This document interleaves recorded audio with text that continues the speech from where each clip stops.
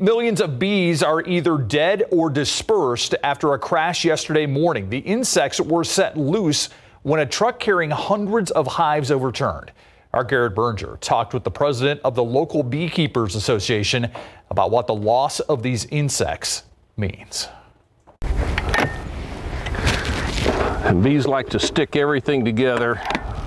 Cracking open a beehive can be a prosperous endeavor with rewards like wax and honey. But as the Alamo Area Beekeepers Association president Rick Fink showed us firsthand, it's not an easy or risk free task. They're really not terribly happy right now, so I think maybe we should put it back together now.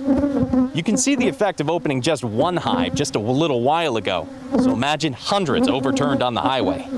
With 400 or so hives involved in Sunday morning's crash, the fire department said they couldn't get to the driver because of swarms of bees, so they used foam on them.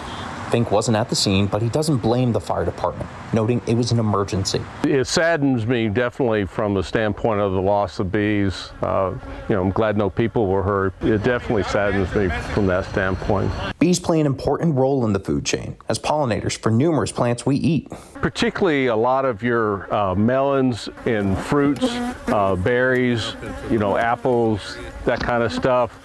And Fink expects that these bees were likely headed for Californian almond orchards when their ride crashed. This time of year is when they start transporting bees because the almond pollination is approximately from the 1st of February to mid-March. So at the very least, the loss of these bees is going to be felt by their owner and whoever was relying on them at the end of this trip.